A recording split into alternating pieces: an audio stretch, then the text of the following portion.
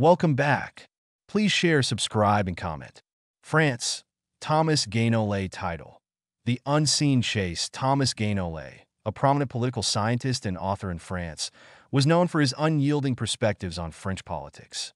However, his sudden disappearance without any warning or trace had sent shockwaves through the nation.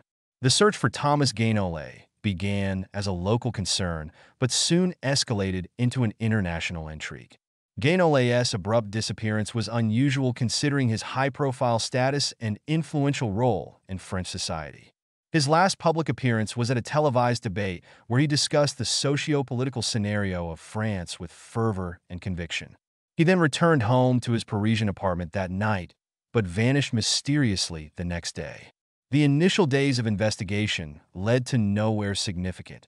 It seemed like Thomas had vanished into thin air. The authorities found no signs of forced entry or struggle at his apartment, and all of his belongings were intact.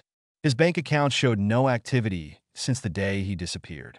As days turned into weeks with no sign of Thomas Guénolé, theories began to circulate among the public about what might have happened to him. Some believe that he might have been kidnapped by political adversaries due to controversial views. Others speculated that he could have gone into self-imposed exile due to some undisclosed scandal.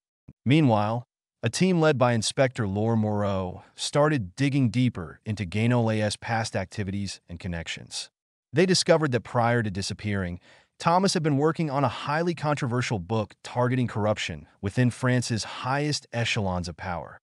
Information enough for many people wanting him silent. Suddenly, everything fell into place. Thomas wasn't just missing.